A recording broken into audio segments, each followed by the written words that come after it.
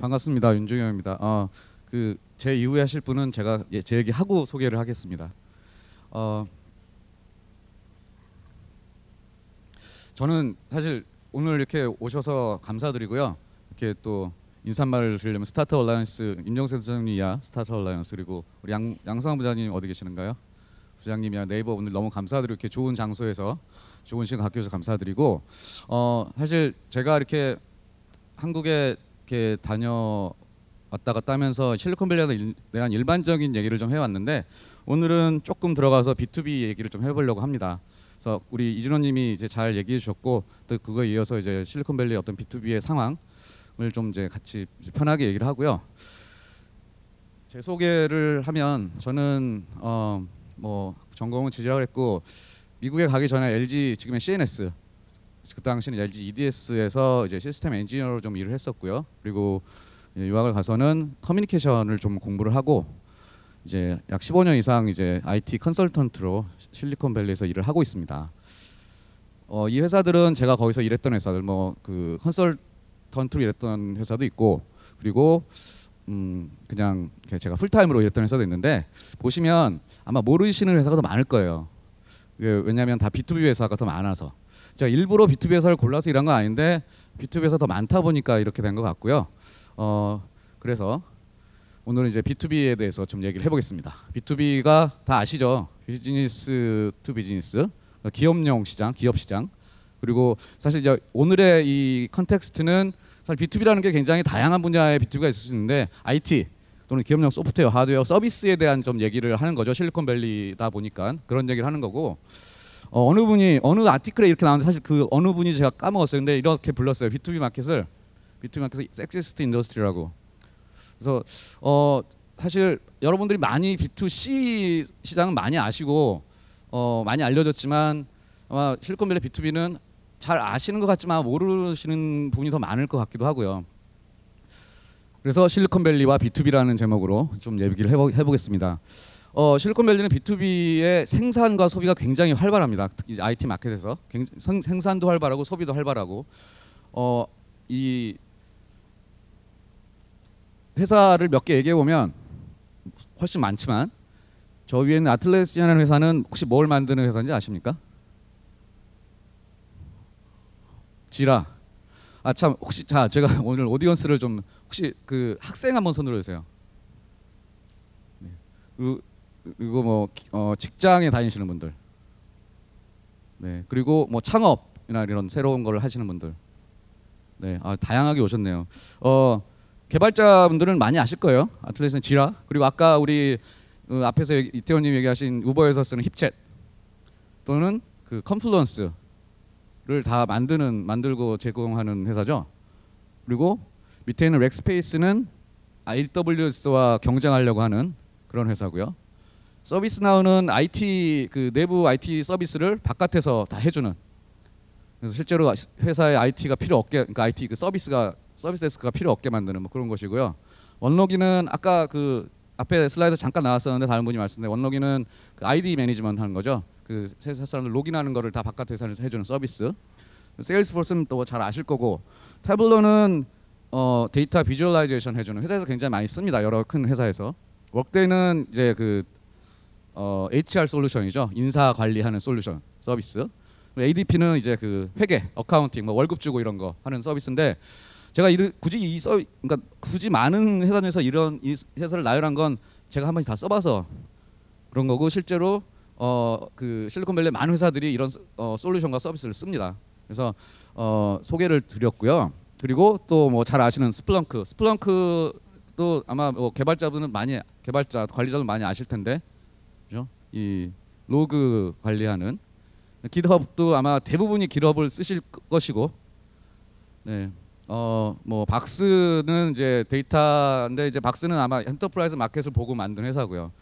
Cloudera는 뭐 빅데이터 하는 쪽, 뭐 포스는 뭐 보안 시스템, 보안 서비스, Square 아시겠고 Palantir도 빅데이터, DocuSign도 이제 electronic sign하는 그리고 수많은 회사들이 있습니다. 수많은 회사들이 이렇게 그쪽에 있고 이 회사들이 사실, 사실 다 실리콘밸리 있는 건 아니고 실리콘밸리 외 지역에도 HQ가 있지만 어, 그 실리콘밸리 회사들이 이런 서비스를 굉장히 많이 쓴다는 거죠.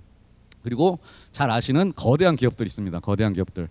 어, 다 일일이 나열할 수가 없어서 이런 반도체 장비를 만드는 회사들 Applied Materials라든지 뭐 KLA, KLA-Tencor라든지 뭐 여러 회사들 있고요. 스토리지 만드는 회사들 많이 있고요. 네트워크 장비 만드는 회사 Cisco, Juniper, 또 보안 그리고 데이터베이스 또는 가상화, virtualization 이런 회사들 다 거기에 모여 있습니다. 그래서 이런 회사 결국 한마디 B2B죠. 소비자는 쓰지 않습니다. 소비자는 필요 없, 어, 안 쓰지만 거기서는 이렇게 그 엄청난 시장을 만들고 형성이 돼 있죠. 그리고 또 어, 이거는 이, 이 자료는 사실 한 2, 3년 된 자료 어, 데, 이, 데이터인데 B2B 그러니까 IPO 를 했, 어, 회사들 보니까 B2B 마켓이 훨- B2B로 IPO하는 회사들이 훨씬 많다는 거죠. 예, 이게 제가 2012년 자료였던 2012년 2013년 자료인데 어, 뭐 지금도 그렇게 많이 달라지는 않았을 것 같고요. 그래서 우리가 어, 흔히 미디어나 어, 뭐 여러 그 매체를 통해서 보는 접하는 회사보다 모르는 회사들이 훨씬 많습니다. 그쪽에서 스타트업을 하고 또 시장으로 진출하는 도대체 왜 그럴까? 왜 그럴까에 대해서 얘기를 하고요. 뭐 제가 뭐 결론을 내린다기보다는 실리콘밸리에서 제가 그동안 15년 이상 여러 회사에서 일하고 느꼈 어, 보면서 느꼈던 거를 좀 정리를 해봤습니다. 그러니까 B2B 제가 하는 일도 사실은 B2B이기 때문에 왜 그럴까를 이제 얘기를 해 보면서 여러분 한국의 상황과 여러분이 직접 비교해 보시면 될 것 같고요. 어 아까 이준원님 잠깐 SI 언급하셨는데 SI가 없 거의 SI 시장이 없다고 봐도 과언이 아닐 정도로 SI가 없는데 그 이유 중에 하나가 서로 그러니까 그 회사에서 그 여러 어, 솔루션 서비스를 하- 어, 만들 때 아, 만든 그 필요할 때 그걸 자기 스스로 하려고 하는 그런 분위기죠. 그그 다음 다른 SI 업체 외주에 외주를 주는 것보다는 그 안에서 해결을 할- 하려고 합니다. 주로. 그 왜 그럴까요? 그래서 이제 많이 쓰는 말 핵. 해킹을 하는 핵 스프릿이 있는 거죠. 그래서 그 더 좋고 빠르고 싸게 만들려면 남한테 기대서는 안 되고 내가 해야 된다. 우리가 직접 하자라는 것 때문에 그 여러 솔루션들을 쓰게 되는 거고요. 그리고 뭐 open source. 아까 그 앞에 나와 있는 회사들이 사실 솔루션들이 가지 open source가 많이 있고요. open source 하다가 이제 뭐 closed로 바뀐 것도 있지만 어 이런 오픈 소스가 워낙에 활성화돼 있기 때문에 그거를 이용을 하고요. 앞에 말했던 그런 그 이 우리가 직접 해보니까 어 좋은데 그러면서 공개하고 그러면서 또 사- 다른 분, 사람들이 거기 같이 커뮤니티를 만들어서 더 좋게 만들고 그러다 보니까는 이제 솔루션들이 점점 발달하고요. 그러다 보니까 그거 어 그럼 한번 이거 서비스로 만들어 볼까? 그래서 서비스로 공개하고 무료하다가 또 나중에 유료화하고 뭐 이런 일들이 이제 빈번하게 일어나죠. NIH 이런 말 아마 개발자나 시스템 운영하시는 분들 많이 쓰- 쓰실 거예요. 그러니까 우리가 만든 게 아니다. 사실 NIH가 좀 부정적인 의미죠. 그러니까 우리가 만든 게 아닌데 어떻게 그걸 믿고 쓰겠어라는 이제 그런 건데 사실 제가 일했던 회사들은 NIH를 좋아합니다. 남이 만들어서 좋은 거 내가 갖다 쓰자. NIH에 대한 거부감이 전혀 없는 거죠. 남 다른 곳에서 만들어진 것을 갖다 쓰는 것에 대한 거부감이 없기 때문에 어 그런 서로 주고받고 하는 게 이루어지는 거고요. 어 이제 또 이론님 앞에서 얘기하시는 게 서비스 이제는 그 물건을 갖다 쓰는 게 아니라 외부에서 클라우드를 통해서 제공되는 서비스. 그래서 IIS, IIS는 인프라스트럭처에서 서비스, 뭐 platform as a service, 뭐 software as a service 이렇게 서비스 클라우드를 통한 이 서비스가 점점 확장이 되면서 어 굳이 그거를 안에서 쌀, 쌀- 쓸 필요가 없고 또 편하니까 더 싸니까 더 빠르니까 이런 일들이 일어나고요. 어그 근데 뭐 아무리 뭐 시장이 그렇게 돼도 사실 제품이 안 좋으면 안 쓰고 쓸 데가 없겠죠. 팔리지도 않고. 그런데 어, 실리콘밸리에 사람들이 많고 열심히 합니다. 그래서 기초가 굉장히 탄탄해요. 기초와 기본이라는 건 오랫동안 쌓여온 거고 그 어, 개개인의 실력도 있고 조직의 실력도 있고 그런 것들이 어, 잘 되어 있고 그러다 보니까 일터가 굉장히 매력적이죠. 사실 이건 B2B를 꼭 떠나서라도 매력적인 일터가 많기 때문에 세계 곳곳에서 어, 고수들이 몰려옵니다. 그래서 그 그분들이 실제로 만드는 제품에 대한 철학이 있고 그걸 어떻게 하면 남 아까 말한 그 이 핵을 좀 해서 좋게 만들까라는 걸 갱- 계속 연구하다 보니까는 더 좋은 B2B 제품이 나오는 것이고 보- 좋은 제- B2B 제품이 있다 보니까 더 쓰게 되고 주위에 바로 있으니까요.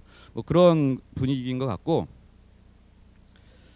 그러다 보니까 사실 실리콘밸리의 그 B2C 마켓은 크지 않습니다. 실리콘밸리를 이제 뭐 샌프란시스코부터 산호세까지 그 지역에 인구가 500만이 안 되거든요. 400만 정도라고 들었습니다. 얼마 안 되는 인구죠. 그래서 사실 그 B2C 마켓은 크지 않지만 그래서 B2C는 글로벌로 나가지만 B2B 마켓을 봤을 때는 실리콘밸리가 엄청나게 큰 시장이죠. 그 이 물건 제, 제품이나 서비스를 사고 파는 그 규모가 굉장히 많습니다. 워낙에 그런 IT 회사들이 많고 대규모로 하기 때문에 그래서 그 계속 이러한 상황 때문에 수요와 공급이 계속 커지고 그래서 계속 그 파이가 계속 커지는 그런 것이고요. 어 아까 또 말씀하신 것처럼 또 제가 반복 반복이 아니라 다른 측면에서 봤을 때 굉장히 사실은 B2B가 장사하기가 쉬운 거죠 더. 타겟을 딱 확실히 정할 수 있고 영업도 타겟을 정해서 할 수 있으니까. 그리고 많이 안 팔아도 비싸게 잘 팔면 되니까. 뭐 그런 거 있고 비즈니스 모델이 그러다 보니까 굉장히 명확하고 그러다 보니까 또 투자도 더 어떻게 보면 투자하는 사람 입장에서도 어, 좀 더 확신을 가지고 투자할 수 있고 뭐 그런 게 되는 거고요. 어, 일을 해보면 굉장히 투명합니다. 사실 아까 뭐 만나서 밥 먹고 뭐 이런 거 없고요. 정말로 제품의 그 특징, 제품의 장점만을 가지고 와서 승부를 하고 그게 좋고 나쁜 거를 어 판단을 하고 비교를 해서 이제 제품을 고르게 되는데 사실 이제 일을 해보면 어떤 특정 제품을 특정한 솔루션을 사야 될 일이 생깁니다. 그러면 이제 몇 군데에다가 이제 그 비교를 하죠. 가격과 성능과 이런 또 데모도 보기도 하고 고르는데 그 과정에서 이제 규모가 크죠. 그럼 규모가 이제 몇십억짜리 그런 이제 그 이 딜을 해야 되는데 그 과정에서 뭐 따로 뒤에서 뭘 어 뭐 뇌물을 준다든지 뭐 잘 보이려고 한다든지 그런 게 없고요. 사실 큰 회사는 그이 구매자가 점심도 얻어먹으면 안 되는 룰도 있고요. 또는 아니 얻어먹을 수는 있지만 얻어먹었을 때 또는 뭐 선물을 받았을 때 그거를 다 공개를 해야 됩니다. 아, 누 어느 회사에서 나한테 이런 걸 줬다고 알려줘야 되고요. 만약 그런 게 알려지 알리지 않고 나중에 뭔가 그 제품이 선택했을 때 어, 뭔가 안 좋은 일이 생기겠죠. 그래서 굉장히 그 거래가 투명하고 어, 거기서 제일 뭐 그러니까 어, 선물로 주면은 제일 좋아하는 선물이 이제 뭐 슈퍼볼 입장권 이런 거 주죠. 슈퍼볼 입장권 또는 뭐 뭐죠? 야구 월드 시리즈 입장권 이런 거 줄 때 있는데 다 공개합니다. 어느 회사에서 이런 거 줬, 누구한테 줬다고 그래서 간다고 다 공개하고요. 그것 때문에 사실 그것 때문에 딜이 되는 경우는 거의 못 봤고요. 정말로 그 제품 제품만 가지고 이제 비교를 하고 하게 되고 그러다 보니까 그 비즈니스에 군더더기가 없어요. 별로 이렇게 이 중 이 뭐죠? 쓸데없는 비용이 발생 안 합니다. 쓸데없는 비용이 발생 안 하고 나중에 문제가 생겨도 떳떳하게 가서 이렇게 골랐기 때문에 이 제품을 썼는데 이런 문제 생겼다고 떳떳하게 할 수 있는 거고 그렇기 때문에 그런 상황에서는 더 쉽게 고칠 수 있는 거고요.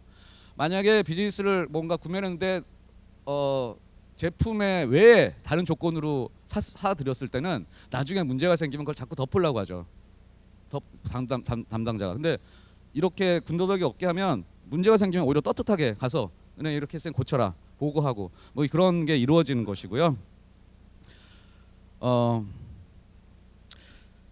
그 좀 전에 말씀드렸지만 실리콘밸리의 인구는 작지만 굉장히 스마트한 고객들입니다. 어 그래서 제품과 서비스를 아주 훌륭하게 시험을 할 수 있는 것이죠.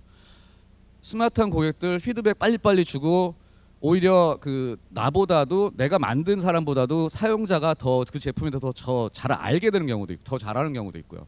그래서 함부로 못 합니다. 그래서 아 내가 만들었으니까 내가 알아서 써가 아니라 이 제품을 선정하고 사용할 때 그 고객한테 정말 최상의 정보를 제공해야만 그 제품이 선정이 되고 앞으로 계속 쓰게 되는 것이지 대충 대충해서는 안 넘어가는 그런 회사들이라서 어 어떻게 보면 제품만 좋고 말, 아까 말씀한 것처럼 좋으면 충분히 이제 그 승부를 볼 수 있는 것이죠. 그래서 저는 이제 실리콘밸리 장점 중에 하나가 이제 이거 그 그 이 마켓이 워낙에 스마트해서 좋은 거는 빨리 잘 되고 나쁜 거는 또 빨리 피드백 받아서 고칠 수 있고 뭐 그런 어 곳이고요. 음. 뭐 이런 근간에는 이제 이게 있는 것 같아요. 결국은 아까 처음에 말씀드린 핵을 한다는 그런 도전.